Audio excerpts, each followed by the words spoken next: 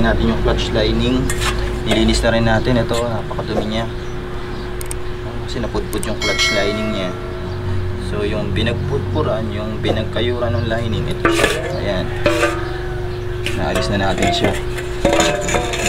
Ayan, dumi-dumi. Naalis natin siya ng diesel. So, ikakabit na natin yung lining. Kapit natin.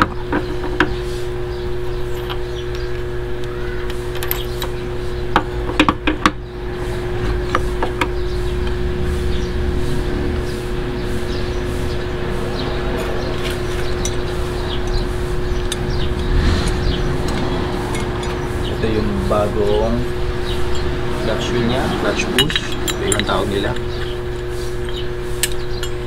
Kabit na rin natin yung bagong bearing. Dahan-dahan lang po po.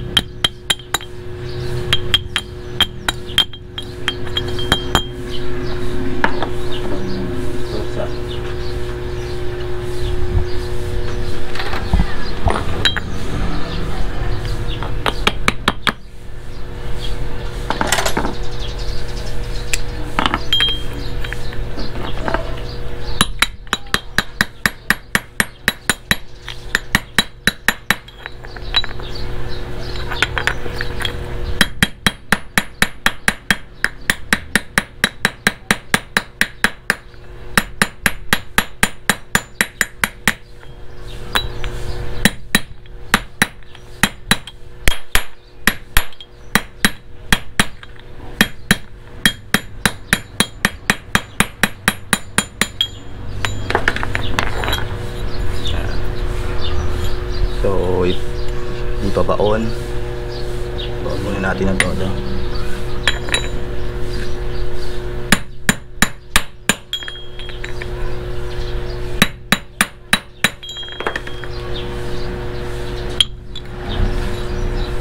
Okay. So, lagyan natin to.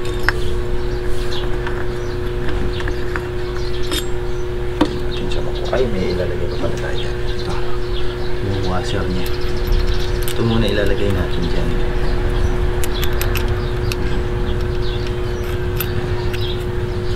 Tapos ito na clutch wheel.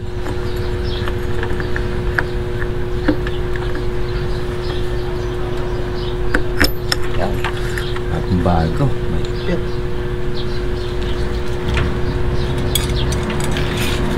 Ito ba yung pressure plate niya at saka yung clutch lining. Tayo muna natin to ilock. So, ito yung lock niya.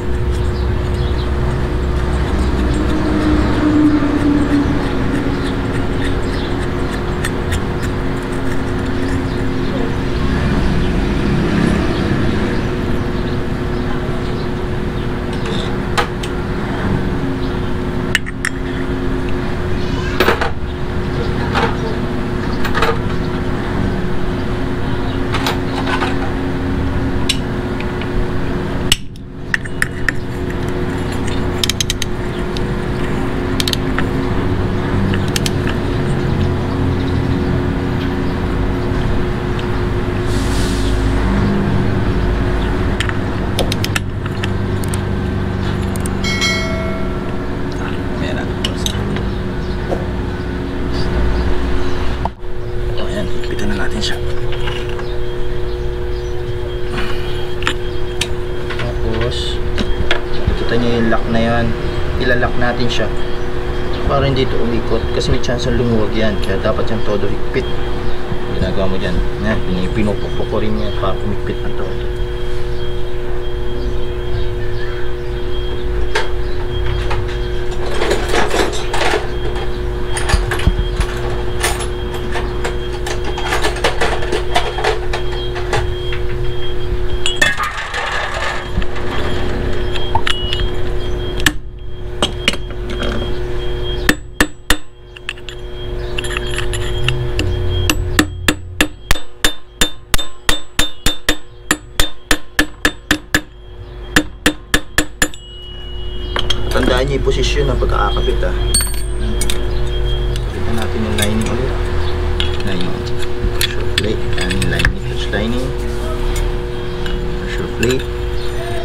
Basahin din natin mamaya ng langis.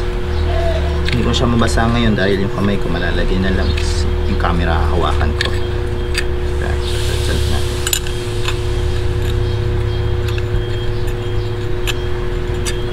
Salit-salit yan.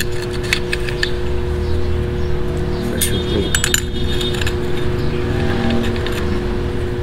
Ayan.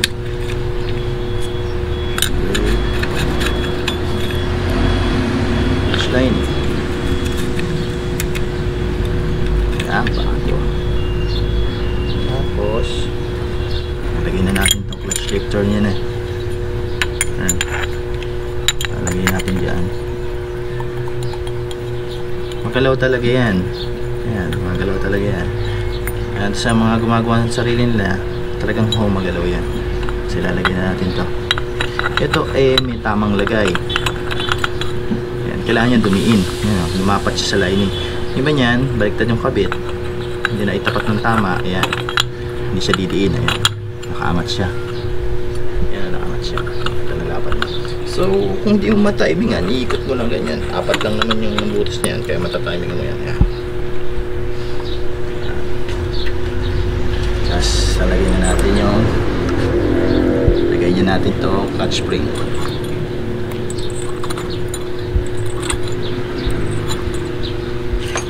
Kapatatok niya niya.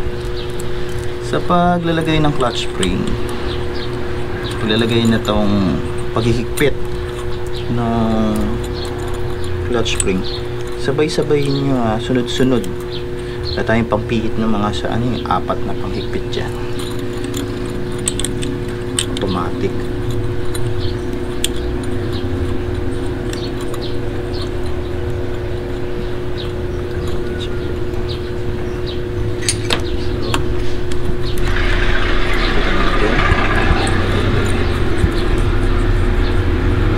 Ah, pag medyo humihigpit na yung isa, itapat niyo yung spring, gitna nyo.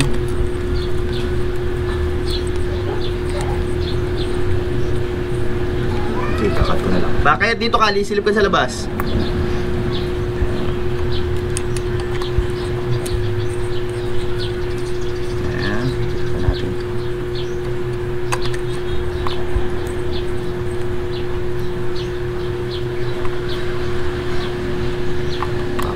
Spring ha. Sasakto nyo doon sa washer ha. Dapat nyo. Ayan. Pagkuha natin paikis na higpit.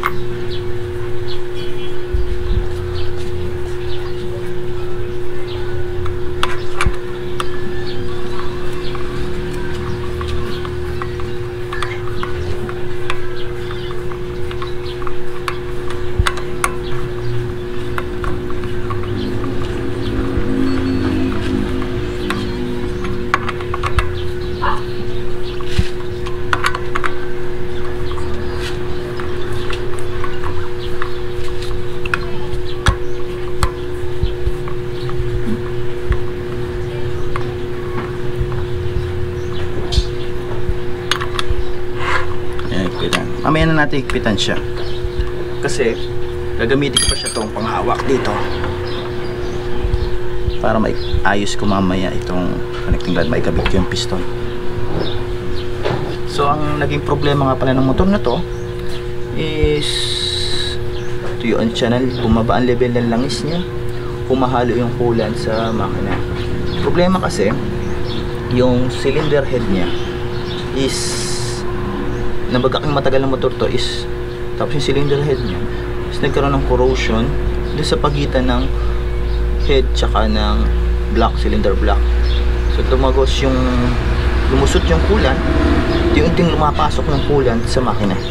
So naapekto niya lang is naapekto yung clutch lining niya. Yun ayusin natin ngayon yung head. Pakikita ko sa inyo